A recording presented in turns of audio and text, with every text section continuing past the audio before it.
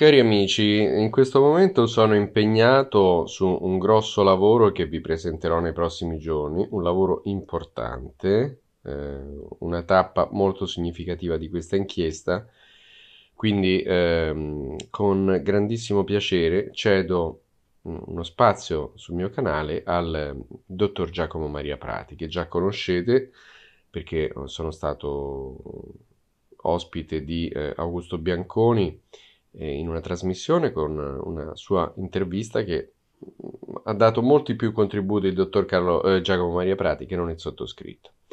È avvocato, magistrato onorario, master in economia e gestione di beni culturali, sviluppa parallelamente un interesse per l'arte antica, l'iconologia, quale cultura ermeneutica universale. È autore di un'infinità di libri attualmente. È direttore del Museo della Certosa di Pavia. Lui ha frequentato gli ambienti tradizionalisti, conosce il modo di pensare di questi ambienti e quindi procede in due puntate a uh, una difesa del sottoscritto contro i suoi detrattori, eh, partendo dal professor De Mattei, sul quale si concentra in modo particolare, passando per il professor Viglione, Don Daniele Di Sorco, Michelan, la professoressa Geraldina Boni, eccetera, e altri detrattori. Ecco, quello che ha messo in luce il eh, dottor Prati è, è questo, cioè le critiche che vengono fatte al panorama che io ho ricostruito in modo compiuto sono sempre critiche settoriali, sempre eh, critiche pezzetto per pezzetto. Per esempio, che ne so, l'avvocato Patruno dice eh beh no, ma la rinuncia di Benedetto è invalida per il differimento, ma non dà una spiegazione di questo differimento, mentre io, come sapete, in quattro anni di studio, non perché io sia più intelligente degli altri, ma semplicemente perché ho ehm, investito, immolato quattro anni della mia esistenza allo studio giornaliero di questa questione. Quindi se sono arrivato ad alcune conclusioni alla ricostruzione di un panorama eh, compiuto, ci sono arrivato sui gomiti, non aiutato se non da pochissimi eroici eh, e coltissimi professori che mi hanno aiutato nel latino, nella storia della Chiesa, nel diritto canonico, eccetera. Eh, non perché io abbia delle particolari qualità intellettuali rispetto agli altri, ma perché mi sono dedicato molto, molto, molto allo studio di questa questione. Vi lascio eh, all'ascolto del dottor Giacomo Maria Prati. Mm assolutamente godibile per rigore razionale e verve polemica. E buon ascolto a tutti.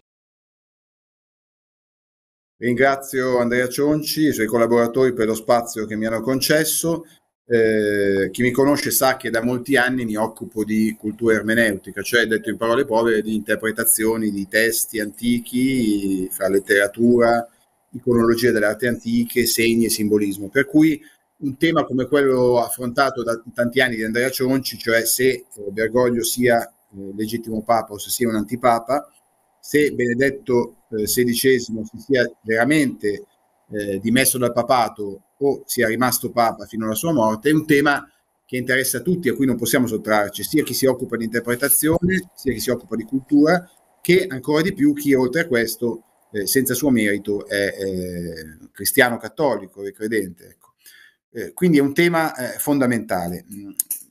Io poi ho personalmente conosciuto in parte il mondo cosiddetto tradizionalista, cioè dei cattolici conservatori molto attaccati alle tradizioni antiche, che anch'io amo naturalmente, eh, per cui ho conosciuto alcuni dei principali eh, detrattori, accusatori di Cionci, eh, per cui mh, mm, è con dolore che eh, devo dire che la tesi di Cionci mi appare condotta in modo molto razionale, coerente e anche umile, mentre eh, tutti i suoi detrattori eh, sono accomunati da un certo livore, da una certa aggressività, ma anche da un ragionamento frammentario, cioè attaccano per smontare singoli dettagli dell'indagine di Cionci, ma non hanno una visione comune.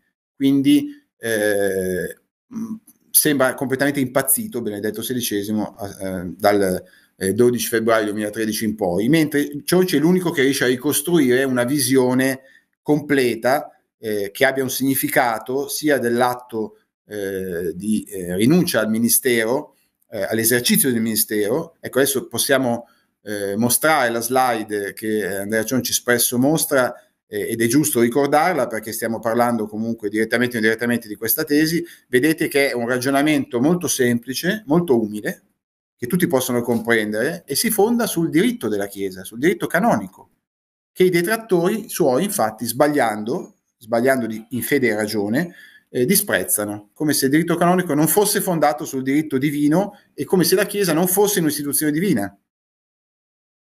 Eh, e quindi poi ci torneremo su questo punto. E quindi fondandosi sul diritto canonico e su una legge importante della Chiesa fatta da Giovanni Paolo II, la Universi Domini Gregis, che eh, disciplina appunto l'elezione del pontefice e le, eh, le, modalità anche di cosa deve accadere eh, in sede vacante e tutto quello che riguarda anche la rinuncia al pontificato, quindi legge, bisogna leggere insieme il canone 332 che dice che puoi rinunciare al pontificato solo se rinunci al munere appunto al dono, al papato, quindi, no? E non invece, come ha fatto Benedetto, che ha rinunciato eh, a, all'esercizio del papato, ma non al papato. Quindi ciò ci dice, eh, non è stata un'abdicazione del papato, aggiungo io, è Dio che crea il papa, è Dio che crea il papa, non i cardinali. I cardinali eleggono una persona che può anche rinunciare, appena eletta, e questa è la differenza, no? C'è anche questo, ci sono infinite sfumature. La sintesi è molto interessante, è molto eh, razionale e tutti i detrattori di Cionci, a mio parere, non la smontano. Infatti non citano mai l'Universi Domini Gregis, non citano mai il diritto canonico, ma lo disprezzano, dando contro la legge della Chiesa. E Benedetto, ha ragione Cionci, ha rinunciato, lo dice lui, lo dice lui lo conferma il 27 febbraio l'ultima udienza pubblica in piazza San Pietro del 2013, rinuncia all'esercizio del vescovo di Roma, cioè rinuncia a quello che i cardinali gli hanno dato, ma non sono i cardinali che fanno il Papa, è Dio. Dio dà il tuo spetus, cambia lo status ontologico, possiamo dire, del cardinale dopo che è stato eletto, del cardinale eletto dopo che è stato eletto dagli altri. Quindi Benedetto ha detto che ha rinunciato a quello che gli hanno dato i cardinali, non ha rinunciato al papato, non ha rinunciato al munus. Quindi una tesi molto semplice. Cosa, come rispondono? Che tipo di pensiero, che tipo di ragionamento fanno i detrattori di questa tesi, che si può criticare come tutte le tesi, ma appare assolutamente logica, lineare, anche umile, perché non si fonda su un proprio ragionamento, ma si fonda sul diritto canonico e sulle leggi della Chiesa, verso il quale il cattolico, insegna il catechismo di San Pio X, dovrebbe avere la massima deferenza e obbedienza. Vorrei analizzare proprio per spiegare, mh, mettere in evidenza con dolore, ripeto, eh, come eh, un certo pensiero tradizionalista eh, non può nemmeno più dirsi un pensiero cristiano, purtroppo, è assurdo, ma è così, un articolo recentissimo di Roberto De Mattei, docente universitario, scrittore, saggista, eh, difensore della tradizione cattolica in molti libri, che ho letto anch'io, che ho apprezzato anch'io, ma in altre posizioni assume un pensiero che non sembra cattolico, che non sembra neppure cristiano. Questo articolo eh, si intitola Francesco e Papa, dubbi e contraddizioni, esce, è uscito su Corrispondenza Romana, l'agenzia di stampa guidata da Roberto, da Roberto De Mattei, e apparentemente è solo un articolo per dire è uscito un nuovo libro di Massimo Viglione, che è stato per tanti anni collaboratore stretto di Roberto De Mattei. In realtà dice molte altre cose, molto strane anche questo articolo, e inizia con eh, lo svalutare con una certa albagia professorale l'indagine di Cionci dicendo, beh, ma su Cionci ha già detto tutto eh, Federico Michelan, uno studente con la sua tesi, Francesco Patruno che l'ha intervistato, Don Daniele Di Sorco, un sacerdote, eh, la professoressa eh, Don Pinna, un altro sacerdote, e la professoressa Geraldina Boni, canonista dell'Università di Bologna. Come dire, sono sciocchezze, sono state già smontate. Io sono andato a rivedermi eh, le tesi principali, se non nel libro, negli articoli, nei video, riassunti da loro stessi, nei video di questi autori, e mi, invece, mi sembra invece che ci siano grossi errori di fede e di ragione, purtroppo, di fede e di ragione in questi autori, e quindi non è assolutamente vero che è stata smontata così facilmente la tesi di Cionci, ma anzi è stata confermata da questi autori, anche fra di loro in contraddizione, lo vediamo. Iniziamo da Federico Michelan, uno studente che fa una tesi su questo tema del Papa, della rinuncia al papato, del Papa legittimo, eh, il quale ritiene, primo errore, che il Papa possa essere come un tiranno che se ne frega del diritto canonico. Quindi fa le sue dimissioni come vuole. E qui abbiamo una prima contraddizione logica. Allora, o il Papa resta Papa e può modificare il diritto canonico, non stravolgendolo come vuole lui, come conferma la professoressa Geraldina Boni, canonista, docente universitaria dell'Università di Bologna, e quindi le fonti cui rinvia De Mattei confliggono fra di loro, il Papa non ha un potere assoluto, ha dei limiti giuridici e aggiungiamo noi teologici anche. Papa è chiamato a confermare, chiamato da Cristo a confermare il Vangelo di Cristo, a confermare la tradizione cattolica, apostolica cattolica, non può stravolgerla. Quindi la visione del papato di Federico Michelan è un po' un papa Caligola, un papa Dioniso, un papa anticristo, perché l'anticristo, secondo la lettera dei Tessalonicesi di San Paolo, è l'anomos, viene tradotto con ingiusto, ma in realtà anomos in greco vuol dire senza legge, cioè l'anticristo è colui che rifiuta ogni legge umana e divina, quindi il papa non può essere come l'anticristo, non può voler distruggere il diritto canonico, può modificarlo con degli atti specificamente e chiaramente eh, miranti a modificare il diritto canonico con una determinata procedura, ma anche qua non stravolgendo i fondamenti, perché il diritto canonico si fonda sul diritto divino, bisogna rileggersi il bellissimo catechismo maggiore di San Pio X, e quindi non possiamo criticare l'indagine di Cionci eh, in base a una visione pagana, mondana, politica e non cattolica del papato. Dio è logos, Dio non si contraddice. Se non valessero le leggi della Chiesa, il diritto canonico, allora perché si deve fare un conclave per eleggere il Papa? Potremmo imporre chiunque allora. Quindi un cattolico non può avere una visione anarchica o sovversiva del papato. San Paolo ci ricorda che eh, Dio non si contraddice, è fedele alla sua parola, il papato si fonda sulla parola di Dio e, e se è vero che la prima fonte è il diritto canonico, non è una fonte arbitraria, perché il papato ha sopra di sé la sacra scrittura, la tradizione della Chiesa e la stessa logica, perché Dio è Logos. Eh, non è Caligola, non è Dioniso, non è l'anticristo il Papa. La professoressa Geraldina ha giustamente messo in evidenza, ad esempio, un'altra anomalia, oltre a quelle definite da Cionci, della cosiddetta rinuncia, ma non al papato di Papa Benedetto, il fatto che manca una giusta causa, manca una giusta causa per il bene della Chiesa. Il Papa stava bene fisicamente, Papa Benedetto, e psicologicamente e intellettualmente. Lo dimostra come i suoi interventi, nonostante la sede impedita, i suoi interventi, eh, nonostante sia stato relegato poi in un monastero, i suoi interventi a, a difesa della Chiesa, che comunque è riuscito a fare, e quindi non c'è la motivazione. Può un atto senza motivazione, un atto così importante, essere valido, essere quello che sembra? Difficile. L'altra uh, grave illogicità di Federico Micheliani è dire che la rinuncia è incompatibile. Eh, as- scusate, ritorno alla prima illogicità. Eh, sì, è una rinuncia strana perché è rinviata di più di due settimane, ma fa quello che vuole col diritto canonico. No, abbiamo detto che è una declarazio, è una dichiarazione. Le dichiarazioni, a differenza degli atti, non ha potere deliberativo statuitivo e qui siamo nel diritto perché sta parlando del proprio potere comunque, quindi il contesto è giuridico. Quindi una dichiarazione ha uno scopo comunicativo e non deliberativo, prima cosa. Non ha una causa, abbiamo visto, non intendeva modificare il diritto canonico perché non lo dice, e se fosse vero quello che dice Michelangelo, allora tutte le prossime rinunce del papale dovrebbero rinviare di due settimane? Vedete che non ha senso, assolutamente. Basta estendere queste obiezioni, diventano delle leggi assurde, che anche ridicole. E poi cosa dice Michelangelo? Eh, ah, e poi, appunto, se lui rinuncia al papato, come fa a modificare il diritto canonico? O resto papa e modifico il diritto canonico, ma ci sono altre forme per farlo, altri modi, bisogna anche dirlo che lo si vuole fare, o se mi rinuncio al papato, come faccio a modificare il diritto canonico?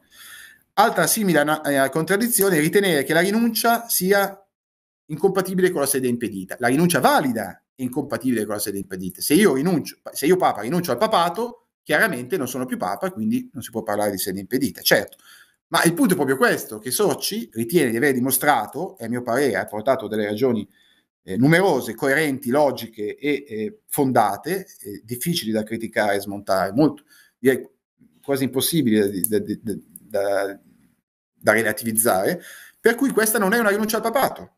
E quindi dov'è la contraddizione? Non è la rinuncia al papato che non c'è che crea la sede impedita, e sono le conseguenze di questa rinuncia presa per vera, ma non lo è, soprattutto la convocazione di un conclave nuovo che crea la sede impedita, è evidente questo. No? Quindi eh, ci sono dei elementi di grande contraddizione in logicità nei detrattori eh, di Cionci. L'altra tesi eh, che non sta in piedi è poi e ritenere che non vi siano soluzioni.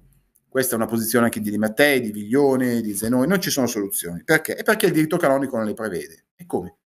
Prima eh, svalutate il diritto canonico, dite che il Papa può fare quello che vuole e poi il diritto, diritto canonico diventa fondamentale perché non prevede la deposizione di un Papa eretico o di un antipapa. Al di là che ciò ci parla sempre di antipapa, non di Papa eretico, ma le soluzioni ci sono ed è la storia della Chiesa che ce lo insegna, duemila anni di storia della Chiesa, anche questo è tradizione apostolica, ci torneremo, Giovanni Paolo II dice che tradiz- con la duodecimum seculum dice che tradizione apostolica non solo il deposito della fede, ma anche l'insieme di regole. Quindi anche la Chiesa legiferante e governante ha una tradizione apostolica infallibile e ci dimostrano che i 40 antipapi sono stati deposti dall'imperatore, di solito dai cardinali. Quindi eh, come un papa viene eletto, se non viene eletto legittimamente può essere deposto. Com- è possibile che non ci siano soluzioni?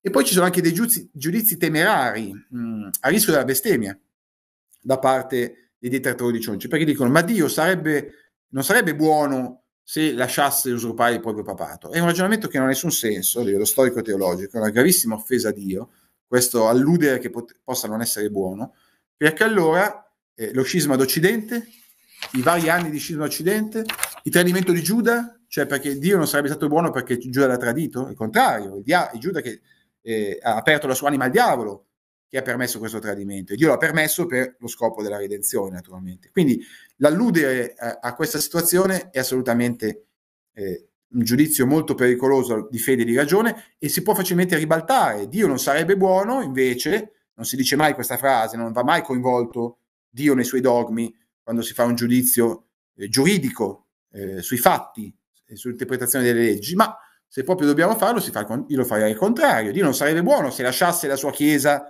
in una soluzione inestricabile, se lasciasse la sua Chiesa per la quale ha dato il suo sangue nella, in un vicolo cieco. Ma eh, sarebbe un Dio crudele, no? E, e, Cristo ha rivelato di essere lui stesso Dio e ha rivelato che la Trinità è, a cui lui appartiene è un Dio buono, giusto anche, non solo misericordioso, ma anche infinita giustizia, e non può essere un Dio crudele che lascia tutta la sua Chiesa e i suoi fedeli in un vicolo cieco inestricabile, perché ha dato la sua vita per creare questa Chiesa. Lo stesso papato è un frutto della redenzione, del sacrificio di Cristo, quindi non può eh, lasciare la Chiesa senza soluzione. La soluzione, come detto, la, la dà la logica ai duemila anni di storia della Chiesa, che fa parte della tradizione apostolica. Don Pinna, anche lui, fa di grossi errori di, di fede e di ragione. Dice che un potere senza esercizio è solo teorico, non è vero. Eh, il munus è il dono del papato, è un'istituzione divina di per sé. Il Papa è tale una volta che legittimamente eletto, ha accettato, si è seduto sulla cattedra di San Giovanni Laterano, ha preso l'anello da pescatore, il palio, è stato, e dopo viene ordinato vescovo, dopo, dopo viene ordinato vescovo, se non lo è già, se lo è già, è papa, è divina istituzione. L'esercizio è una conseguenza, avverrà dopo, è già papa quando appare alloggiato, no? Ha fatto qualche atto di esercizio del potere della Chiesa? No, è papa. Quindi è una posizione confusa, Don Pina cade nello stesso errore, il Papa non è tenuto al diritto canonico, è come dire Dio non è tenuto ai dieci comandamenti perché li ha creati lui, quindi Dio potrebbe eh, compiere atti contrari ai dieci comandamenti, chiaramente la, sarebbe, saremmo alla follia, crede il Dio cattolico, cristiano cattolico, non è un Dio folle, non è un Dio irrazionale, non è un Dio capriccioso, eh, è sommo bene, è sommo logos, e il sommo bene e sommo logos non ha contraddizione in sé. La parola di Dio non è parola umana non solo è assolutamente vera, ma è parola che agisce, che crea, è parola creatrice, è parola che cambia l'essere perché Dio è l'autore dell'essere, la fonte dell'essere. L'altro errore, Don Pin, è ritenere, eh, svalutare anche qua il diritto canonico, dicevamo che come se non si fondasse sul diritto divino, quindi si viola anche il catechismo di San Pio X, oltre che la tradizione della Chiesa, ritenere quindi una visione del Papa mondanizzato, politicizzato, e eh, pa- parificare la posizione del Papa a quella dei vescovi. Questo è un errore che fa anche Michelano, che fa anche Phil Max. Cioè, esiste il, Papa, il vescovo emerito, quindi può esistere il Papa emerito. No, la figura del Papa emerito non è mai esistita nella Chiesa, non esiste, o sei Papa o non sei Papa. Il tuo spetus è la vocazione esclusiva, unica. Solo a Pietro Gesù dice queste parole che lo cambiano per sempre. La prima pietra di fondamento è Pietro, poi ci sono le altre undici la Gerusalemme celeste, la pietra di fondamento sono 12, ma la prima è Pietro. Quindi Pietro non solo è colui che regge la Chiesa, colui che deve confermarla nella fede, nell'unità e nella verità. e, deve, ed è la massima autorità anche di governo e giurisdizione. Non ci sono alcuni poteri dal, del Papa che non vengono da Dio, ma vengono dagli uomini. Tutti vengono da Dio perché la Chiesa è istituita da Dio. Chi non, pensa, chi non crede questo è in eresia, ci dice San Pio X nel suo catechismo. La Chiesa non può stare senza Pietro? Beh, eh, certo, ma la Chiesa è sempre con Pietro perché Pietro è sempre con Cristo. E allora la sede vacante? Don Pino si dimentica i periodi di sede vacante, fa un papa e l'altro, si dimentica i periodi di scisma? La Chiesa è stata retta dal cielo, in quel caso, no? È il vicario, fondamentale perché così l'ha voluto Gesù. Gesù non aveva bisogno di Pietro, ma ha voluto Pietro come pietra di fondamento, quale anche, a mio parere, conseguenza dell'incarnazione poteva intervenire nel mondo senza farsi uomo, Dio, ma ha voluto farsi uomo e ha voluto dare questo potere divino ad un uomo. Noi abbiamo bisogno del Papa perché siamo deboli, abbiamo bisogno di qualcuno che ci confermi nella fede, se no rischiamo facilmente di sbandare, come fanno molti, ahimè, sedicenti tradizionalisti. La professoressa Geraldina Boni dice cose giuste che concordano con Cionci, quindi De Mattei sbaglia anche in questo nel rinviare una fonte che non è del tutto contro Cionci, ma dice cose eh, su cui non si può non concordare, a differenza di tutti gli altri detrattori che contrastano con la Gerardina Boni. Ma ha ragione la Gerardina Boni quando dice che munus e ministerium sono cose differenti in senso giuridico e la comunicazione, la dichiarazione di Papa Benedetto riguardava comunque il suo potere in un contesto giuridico. Cosa riguardava? La teologia? No. I poteri di governo, i poteri di legiferazione, i poteri del papato, l'esercizio del papato, quindi comunque un contesto giuridico. Dice che il Papa non è un re assoluto, giusto, è vero, non è mai stato. Dice che può esserci un solo Papa, giusto.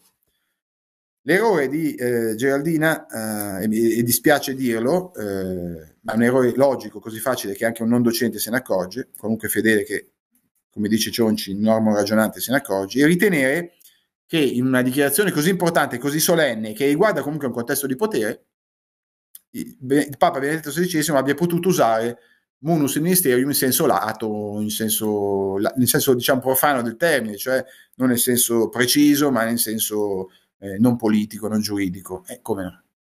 È un, è un, atto fondamentale quello che ha fatto, anche, fosse, anche se è solo una dichiarazione e non la rinuncia al papato, è comunque un atto importante perché si ritira dall'esercizio del papato. Quindi è chiaro che munus e ministeri non possono essere usati come sinonimi. Se voi fondate il papato o meno, di un personaggio che sia papa o no su una sinonimia? È una posizione interpretativa molto debole, no? Cioè ne fondiamo la Chiesa di Cristo sulla confusione? Sui dubbi? No, non è possibile. O sei papa o non sei papa. O ha rinunciato al papato o non ha rinunciato al papato. Cionci mi sembra abbia dimostrato a livello eh, razionale e giuridico che eh, non ha rinunciato al papato.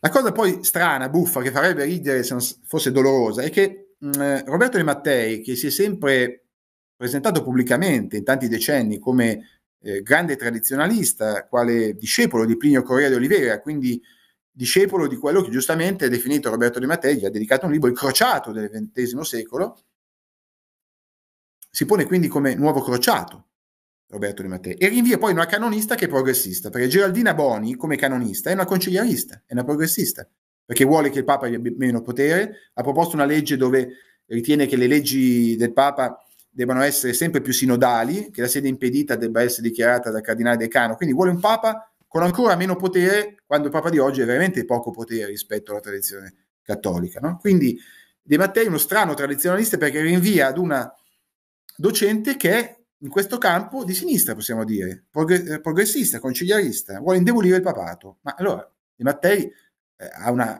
comportamento contraddittorio, schizofrenico. Da una parte esalta De Maestre con la sua esaltazione del papato, quale massima teocrazia, che bella la teocrazia, dall'altra poi appoggia una canonista che contraddice gli altri detrattori a cui lui rinvia non solo questa grande illogicità, ma anche che vuole un papa sempre più debole. E eh, questo non va bene, questo non è possibile.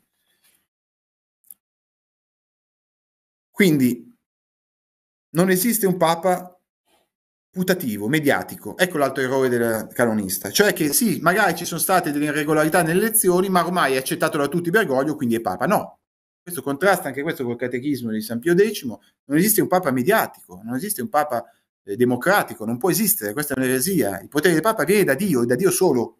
Quindi o sei papa o non sei papa. Anche se tutti pensassero che un personaggio è papa, se non lo è, se non ha ricevuto il munus o se non ha rinunciato al munus, lo è ancora, quindi non c'entra nulla, eh, non ci può essere nessuna sanatoria se c'è una nullità di materia così grave dal punto di vista canonico.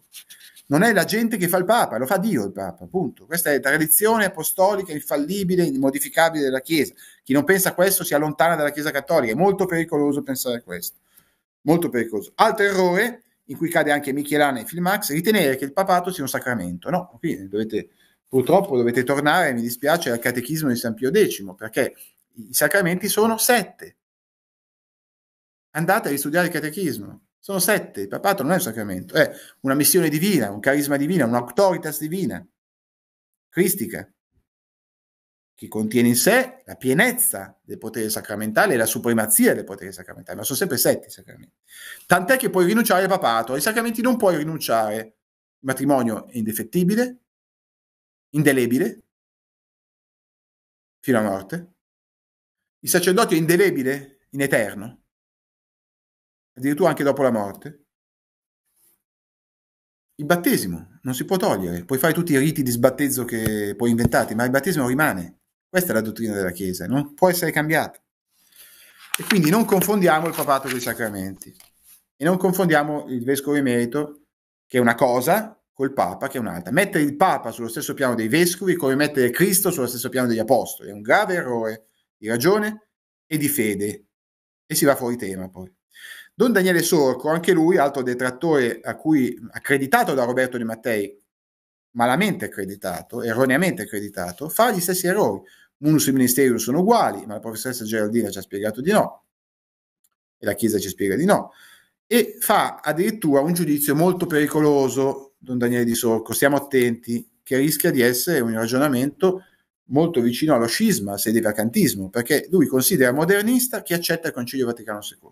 Il Concilio Vaticano II può non piacere, a me non piace molto, ma è un concilio, c'è stato, un fatto storico, è un concilio pastorale, puoi ritenere superata quella pastorale, come per me in gran parte superata, ma non puoi dire chi accetta il Concilio Vaticano è stato un legittimo concilio. Se tu rifiuti il Concilio Vaticano II come legittimo concilio, ti poni fuori dalla storia della Chiesa, fuori dalla Chiesa.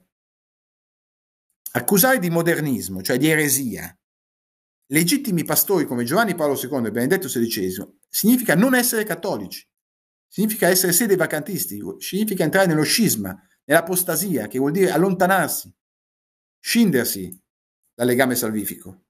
Quindi è molto grave, qui andiamo non solo nell'errore logico, ma nell'errore teologico. Anche lui cade nella solita sciocchezza, la, può, con la rinuncia può fare quello che vuole, ma quando mai? Il Papa non può mai fare quello che vuole, perché ha dei gravissimi doveri delle gravissime responsabilità, proprio come supremo pastore. Solo Dio è il padrone, Dio può fare quello che vuole. E il despota, nell'Apocalisse dice che Dio è despota. Per nostra grazia e fortuna è un despota amorevolissimo, ma anche giustissimo, e non si contraddice, come Dio non si contraddice, così il Papa non può esercitare in modo ingiusto, non può, il papato non può fare del papato una sede di sopraffazione, falsità e ingiustizia. Quello è l'anticristo. State confondendo il papato con l'anticristo, attenzione. Fatti questi erronei rinvii, contraddittori e infondati, ai detrattori di Cionci come se quindi archiviato il caso Cionci come fosse una sciocchezza, invece sono molte le sciocchezze che dicono i suoi detrattori, De Mattei continua in questo stranissimo e inquietante articolo, iniziando a eh, presentare eh, il, il, libro di, il libro di Viglione, che io non ho letto, quindi non entro nel merito, ma eh, entro nel merito, entro, analizzo però quello che dice eh, De Mattei, sconfessato poi da Viglione in una risposta. Quindi accusa di sede vacantismo, sede privazionismo, ma sostanzialmente la stessa cosa, di sede vacantismo Viglione, perché dice Viglione ritiene che il Papa Bergoglio non sia papa, ma non per i motivi di Cionci, non si capisce perché non vadano bene i motivi di Cionci, che mi sembrano molto più logici, chiari e coerenti, ma per altri motivi, quelli di Sonci, ad esempio, di Soci, scusate, quelli di Soci, cioè ehm, re- violazioni nelle elezioni, il quinto scrutinio, tutto quel caso lì, che può anche essere, ma non ne abbiamo le prove in questo caso, oppure perché è eretico. Allora, anche qua c'è un grave errore. Eh, il Papa non può essere eretico ci sono stati papi immorali, papi peccatori. Papa è un uomo, quindi può essere peccatore. È peccatore come tutti gli uomini. Ma non può essere etico. E qui eh, questo è un errore costante di, eh, di, Roberto De Mattei che sfruttando la sua conoscenza storica, la sua ottima eloquenza, eh, sbaglia però su Onorio, sbaglia su Onorio e sbaglia su Giovanni XXII, la faccio molto breve, che non sono stati veramente eretici. Onorio in una lettera, non in un magistero pubblico, in una lettera di risposta al patriarca Sergio, cerca di farlo rientrare eh, dall'eresia monotelita, quella che ritiene che Cristo avesse una sola volontà, invece ne ha due, divina, come persona divina e umana, in quanto anche la natura umana, quindi certamente è un'eresia monotelismo, non gravissima, non eh, terribile come l'arianesimo, ma comunque eresia, proprio per il dolore di questa eresia, in una lettera privata al patriarca Sergio, propone una soluzione, una mediazione, una, soluz- una via d'uscita, più che una mediazione, una via d'uscita per far rientrare la Chiesa orientale dal monotelismo nell'unica Chiesa, perché siamo nel, non siamo ancora allo scisma d'Oriente, no?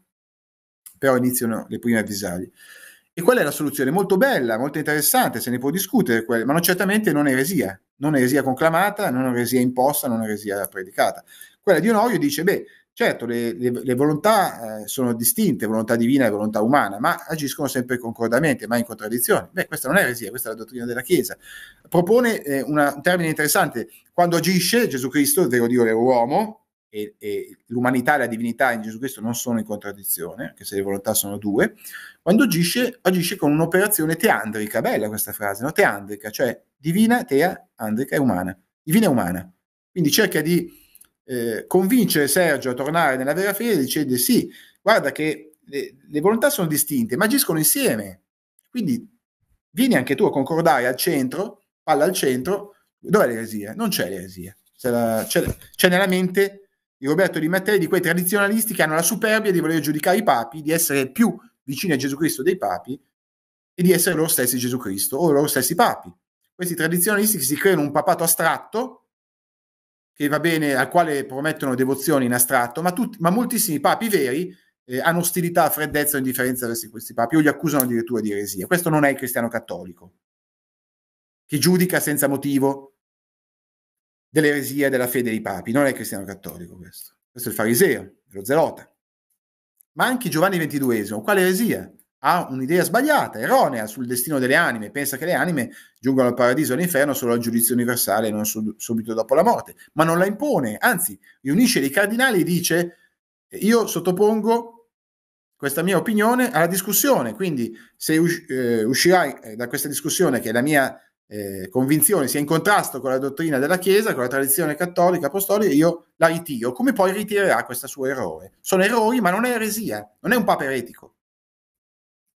Bergoglio invece ammaestra, ammaestra l'eresia ripetuta, grossolana, all'eresia addirittura di Socino, la peggiore, quella che ritiene l'inferno vuoto, perché se l'inferno fosse vuoto sarebbe inutile il sacrificio di Cristo, sarebbe inutile il Papa, inutile il cristianesimo e il cattolicesimo, inutili i sacramenti, perché se l'inferno è vuoto nessuno ci va e quindi cosa serve pregare o andare ai sacramenti o credere in Gesù Cristo? Quindi l'eresia di Socino è la peggiore, è antitrinitaria, eh, nega il peccato originale, e l'eresia che, ha detto lui, in cui crede, ma il Papa non può avere eh, opinioni personali in materia di fede. Non esiste Papa eretico. Perché De Mattei sost- e altri sostengono che esiste? Perché così difendono Bergoglio dicendo, beh, ma ci sono stati altri papi eretici, Onorio, Giovanni XXII, quindi dobbiamo tenerci i papi eretici. Benissimo. Cionci parla di alto, parla di antipapa. Non si può deporre un papa. Bene, ma non è papa, questo dice Cionci. Quindi inutile continuare a, a dire che il papa non si può deporre. E ci sono stati casi in cui è deposto, è stato deposto. Ma stiamo parlando di se è papa o antipapa, non se è papa eretico o no. Quindi, altri gravi errori. Il grave errore di Viglione, appoggiato da De Mattei in questo caso, appoggiato da De Mattei, è che non ci sia soluzione. Quindi Dio sarebbe così cattivo che ci lascia nel dubbio. Quindi la fede cristiana si fonderebbe sul dubbio se, uno, se un papa è tale o non è papa. È possibile? Perché non ci sarebbe la prova assoluta della probabile illegittimità e eresia di Bergoglio. Allora, l'eresia o c'è o non c'è, la vedi, è una prova. Se c'è l'eresia, non può essere papa, questo lo ritengo io. O ritenete che il papa può essere anche eretico, quindi Gesù Cristo sbaglia quando dice tu sei Pietro, su questa pietra fondo la mia chiesa.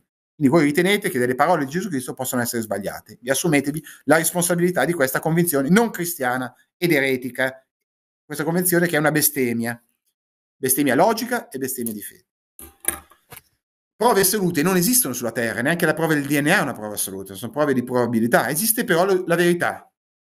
esiste la verità oggettiva a cui si può avvicinarsi e accedere con la ragione e con la fede, come ha insegnato Benedetto XVI. Fides et razio. Qua vedo che sta mancando fra i tradizionalisti sia la fides che la razio. Rileggetevi San Tommaso d'Aquino che scrive non divisioni mistiche, ma scrive con la ragione in materia di fede, fondandosi sulla ragione in materia di fede. Non, il cattolico tradizionalista non può assumere la posizione gnostica e relativista di Ponzio Pilato di fronte a Cristo verità incarnata che gli dice chieda la verità, ascolta la mia voce. Ponzio Pilato da pagano risponde cos'è la verità. Lui poteva dirlo, è un pagano. Quindi poteva legittimamente ritenersi un gnostico relativista, è un pagano. Un cristiano cattolico non può essere gnostico, non può essere relativista, non può, essere, non può dire cos'è la verità. In materia di fede, in materia fondamentale, come se un papa sia papa o no, e se un papa sia eretico o no, due temi fondamentali per la fede, per l'esistenza, la sopravvivenza stessa della Chiesa cattolica, non si può dire chi lo sa. No, Dio non sarebbe buono, usando il vostro ragionamento, ma, lasciamo, ma lasciamo, non strumentalizziamo il nome di Dio, non proclamiamolo in vano, che anche questa è una bestemmia, ma non è possibile perché la nostra fede non si fonde sui dubbi. L'eresia è già una prova di per sé. La violazione di una legge del diritto canonico, la violazione del diritto canonico di una legge del, fatta da un papa legittimo, Giovanni Paolo II, confermata da Benedetto XVI, una violazione di questa legge nelle modalità di elezione del papa e di rinuncia al papato è una prova. Altrimenti non esiste la ragione. Se non esiste la legge c'è l'anticristo, l'anumos. Il Papa Dubbio non è Papa, perché il papato è un'istituzione che deve confermare la verità assoluta, che è la verità della fede, e quindi non può essere dubbio. Tu es Petrus è una certezza.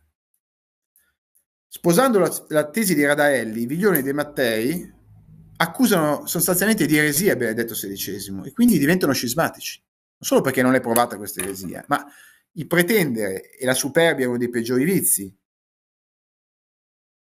di giudicare il Papa teologicamente, senza prove poi, giudicare, giudicare, la fede di un Papa. Il cristiano non può giudicare neanche la fede del proprio vicino di casa, non, può giudicare, non possiamo giudicare neanche la nostra fede, perché solo Dio giudica la fede. Questo dovreste saperlo se siete cristiani cattolici. Solo Dio conosce il cuore dell'uomo. Solo Dio è giusto giudice. E dentro la Chiesa è il suo rappresentante, il pontefice. E quindi Viglione che accusa di eresia o lascia il dubbio, strumentalizzando alcune frasi di un giovane studioso anni 70, Razzi, Joseph Ratzinger, che non c'entra nulla con Ratzinger, difensore per 30 anni come prefetto della congregazione della fede della tradizione cattolica, non c'entra nulla con Benedetto XVI Papa, che ha difeso tantissimo la tradizione cattolica, come anche Giovanni Paolo II l'ha difesa, che c'entra? Qui siamo alla follia, no?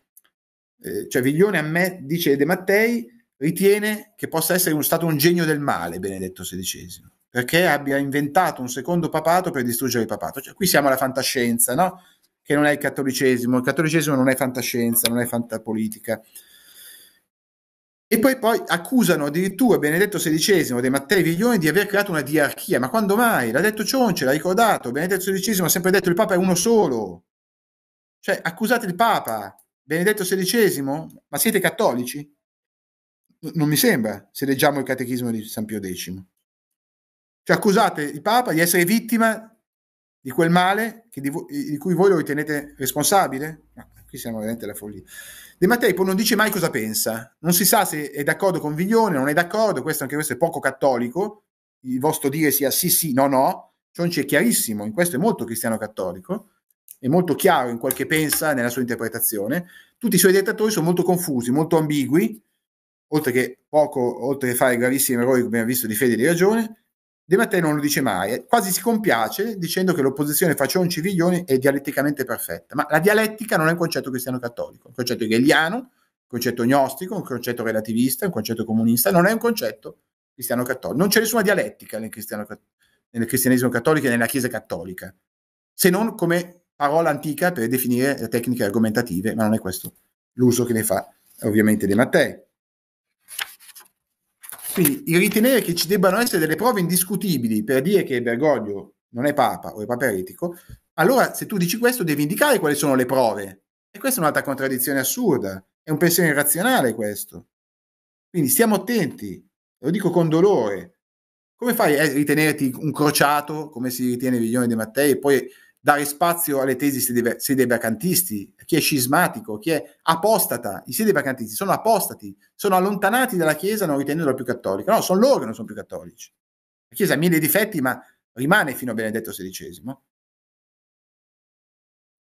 È gravissimo questo. Apostasia vuol dire allontanarsi, è una parola greca che deriva eh, dal verbo eh,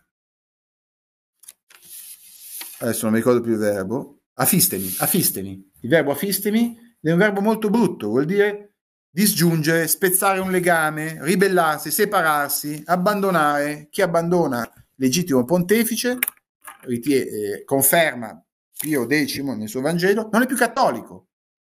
Questi per, per, essere fedeli alla loro ideologia tradizionalista non sono più cattolici, si permettono di giudicare papi legittimi, quali Giovanni Paolo II e Benedetto XVI, che hanno dato la loro vita per difendere la tradizione cattolica. E De Mattei, nel presentare il libro di Viglione, continua a dare fuori tema perché dà spazio alle sedi, sedi vacantiste. Viglione dice: Io non sono sede vacantista. A mio parere, se accusi di eresia Benedetto XVI, hai dei forti problemi, sia in termini, sia in termini di ragionamento in termini anche di correttezza del comportamento di un cristiano cattolico. Però sono contento che Massimo Miglione dice non sono sedevacantista. Allora perché lo accusa di sedevacantismo Roberto Di Mattei? Perché nel suo articolo di poco tempo fa, Dubbi contraddizioni di Francesco e Papa, dà spazio alle sedi sedevacantiste. Questa è una gravissima colpa, dare spazio agli scismatici, dare spazio agli apostati. O sei tradizionalista o sei apostata. Dillo. Scusate se mi fervo, ma è un tema che questo fa molto arrabbiare ed è molto doloroso per me, che non ho nessun merito, nessun titolo. Lo diceva anche Romano Amerio, anche mi sembra Radaelli, che nessuno ha titoli per parlare della fede. Abbiamo un solo titolo, il battesimo, senza nostro merito, perché col battesimo ogni battezzato riceve lo Spirito Santo, che è Spirito di verità, che è Dio, quindi senza alcun nostro merito questo Dio ci chiede di dare ragione della nostra fede e di difendere la fede, che non è solo un deposito di fede, ma come ha confermato Giovanni Paolo II e come conferma Sant'Agostino, Sant'Ireneo, è anche l'insieme delle leggi e delle regole di comportamento della Chiesa. Ringrazio ancora Andrea Cionci per lo spazio e spero di aver chiarito, almeno in parte spero, come questi detrattori molto aggressivi dell'indagine di Cionci mh, facciano grossi errori di fede e di ragione. E mi dispiace molto, con dolore, che Roberto De Mattei e Massimo Miglioni facciano anche loro dei grossi errori di fede e di ragione.